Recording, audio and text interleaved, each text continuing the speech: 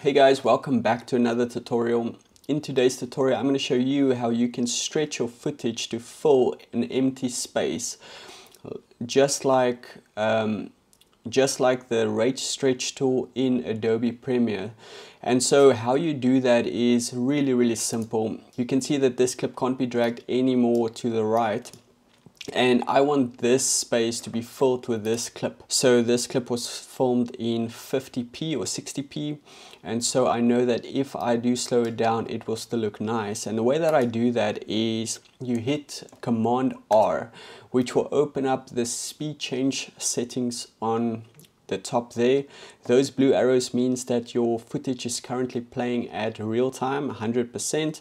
And if you want to stretch that to fill that space, all you do is go to the top here and drag it out. You'll see that as you drag it out, those arrows arrows will become yellow and that means that you have just stretched it out to fill that space and you can see it's 74%. So if you're done with a clip, you can just hit Command R again and you'll see the speed change settings will disappear. Alright guys, I hope that this will help you. Please remember to hit that like button and subscribe for more tutorials.